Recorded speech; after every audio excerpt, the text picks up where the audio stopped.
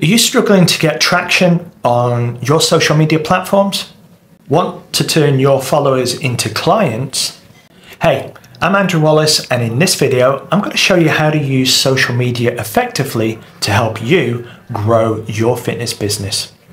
Not all social media platforms are created equal, so it's therefore crucial to choose the ones where your target audience spends their most time. For most fitness professionals, those platforms are going to be Instagram, Facebook, and YouTube, and I believe that they are, in therefore, great places to start. Instagram is perfect for visual content, Facebook for community building, and YouTube for long form video content essentially YouTube becomes your your TV channel. Content is king on social media. So therefore it's highly important to create content that provides value to your target audience. So this can include workout videos, nutrition tips, client success stories, maybe even behind the scene glimpses of your training sessions. Consistency is key. So post regularly to keep your audience engaged.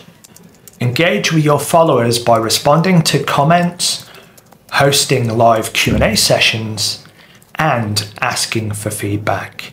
This not only builds relationships, but also increases your visibility on the platforms of your choice. Hashtags and keywords can help increase your reach. Use relevant hashtags to get discovered by a larger audience. For example, hashtag fitness, hashtag personal trainer, hashtag workout, and location specific hashtags can be very effective. Research and use the right keywords to optimize your content for search engines on platforms such as YouTube. Consider using social media advertising to reach a broader audience. Facebook and Instagram ads can be highly targeted, allowing you to reach specific demographics.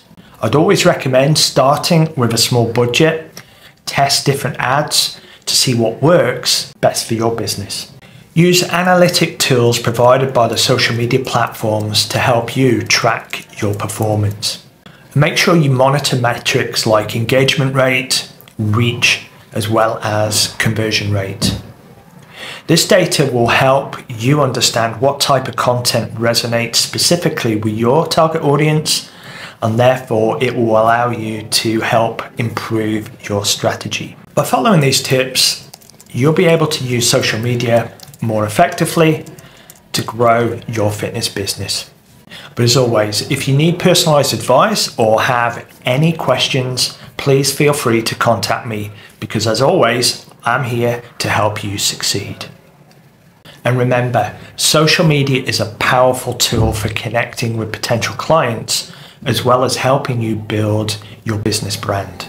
But use it wisely and then watch your business grow. Thanks for watching and don't forget to subscribe to my channel for more videos just like this.